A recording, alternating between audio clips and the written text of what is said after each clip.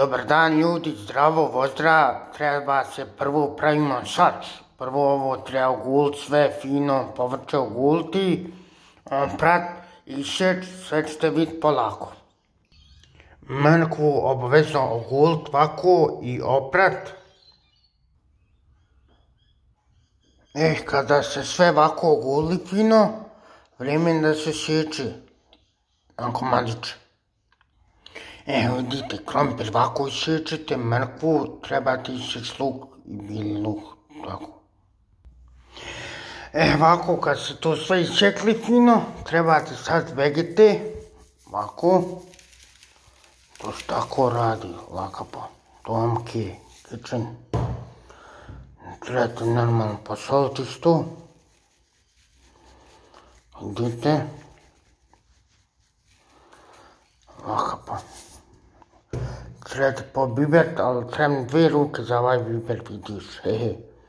Znaš, i još dodate, evo ove crvene paprike. Ovako.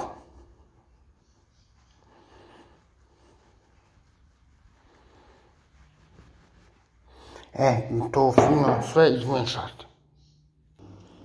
Kada ste sve to fino mako izmiješali, vrijeme je da operete ovu e, govednu. Evo ovako, kad ste oprali ovu govednu, vidite, ovo je govedna pravo meso, sve ćemo to peći sač. Naravno, trebate na sol samo posoliti govednu, svukuda i tako dalje.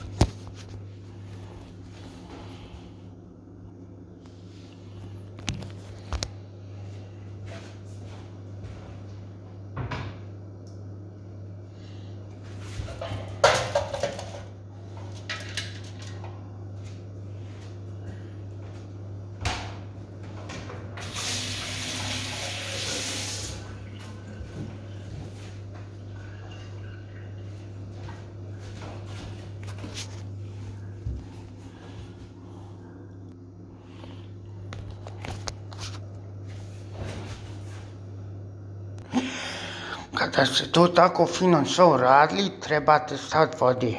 Ako. To Amke Kitchen sam radi. He. To tako. I to lako po, poklopite ovako. Sam da ja vama pokažem. Poklopite ovako i lako nek se na laganoj e, na ledenom pečnici stavite, nije zagrijano, stavite u ledenom pečnicu i peć 3 sata. E to, kada smo baci to i upali pekar na 230 stepeni, lako pozatvorimo i nas peče onaj 3 sata. Eto. A dok se to lako popeče, mi možemo popiti jednu, dve, tri čaše vina. To je zdravo za vas. Živjeli.